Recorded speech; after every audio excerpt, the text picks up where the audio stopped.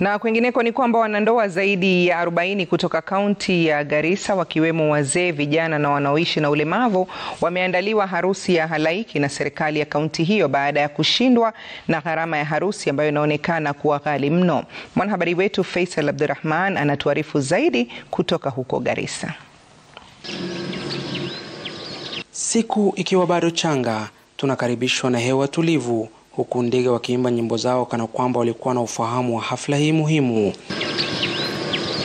Katika ukumbi wa Almond mjini Garissa, wanandoa zaidi ya 40 wanafunga pingu za maisha huku mamia ya wakazi wakijitokeza kushuhudia hafla hiyo muhimu.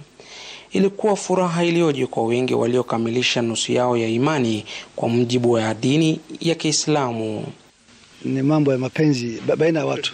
Sisi hatuna, sisi yetu uh, we only facilitated. And it's just like you, saka wewe umependa msichana, msichana amekupenda, lakini hauna hauna uwezo ya kumari. And you come to me and I help you. Iko ina shida yote? Haina shida. Ni hiyo tu basi. Wasichana waliokuwa wakiolewa walipambwa kwa sherehe hiyo maalum kwa kupakwa mchoro ya hina na kuvalishwa mavazi yao ya harusi. Baadaye nyimbo za tamaduni za jamii ya Wasomali zilitanda hewani.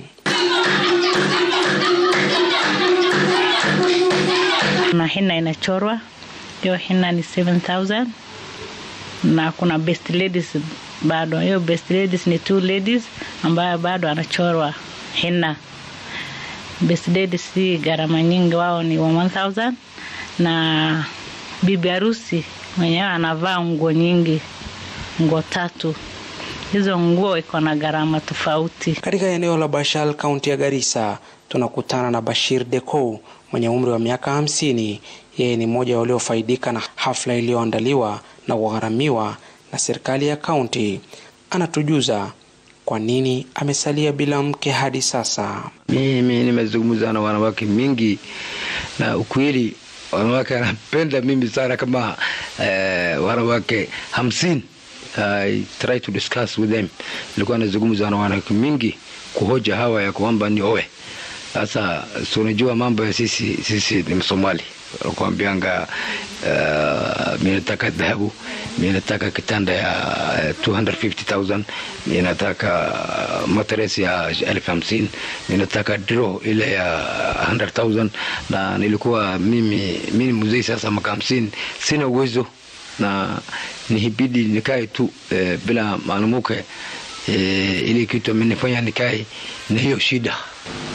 Aidha, gharama ya juu ya kuandaa harusi katika sehemu hii ya kaskazini mwa nchi imesababisha vijana wengi kutofunga ndoa. Tangu hii hiyo uh, function itimize, we are now even having big elders, elderly men and women for that matter who are saying also we want us to be done the same, to want the same thing to be, to be performed for us. So ni kitu nzuri, ni jambo nzuri kwa sababu kuna watu kweli wengi sana wangependa kufunga ndoa, wangependa to go into marriage but they do not have the capacity or the means so we're only helping. Wasichana wasikizi wanataka ile bei juu, wanafata vile rafiki yake amefanya, fulani amefanyiwa hivi, ndo yeye naye anataka, si hata wanaangalia huyu ni maskini ama huyu ako na nini.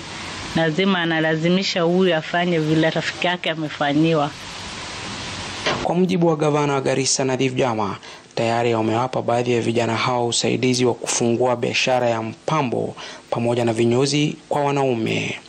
Hafla hii ikiwa ni hatua ya kwanza kwa wanandoa hao katika safari yao mpya maishani. Faisal abdurahman runinga ya Citizen kutoka kaunti ya Garissa.